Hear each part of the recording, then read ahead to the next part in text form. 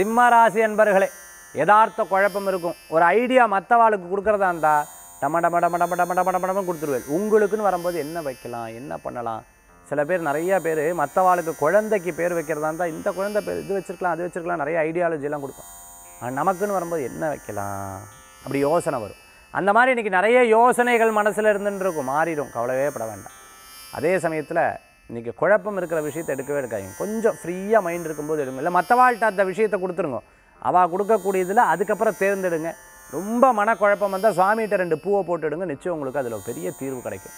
இன்றைக்கி திருமண வரன் சம்மந்தமான விஷயம் குழந்தை வரன் சம்மந்தமான விஷயங்கள்லாம் இறைவன் உங்களுக்கு ஒரு பாசிட்டிவான செய்திகளை பாசிட்டிவான விஷயத்தை காதில் கேட்க வைப்பார். அதிர்ஷ்டம் தரக்கூடிய எண் ஏழு. நிறம் மஞ்சள் வழிபாட்டுக்குண்டான தெய்வம். தட்சிணாமூர்த்தி சுவாமி வழிபாடு. விசேஷ வழிபாடு இன்றைய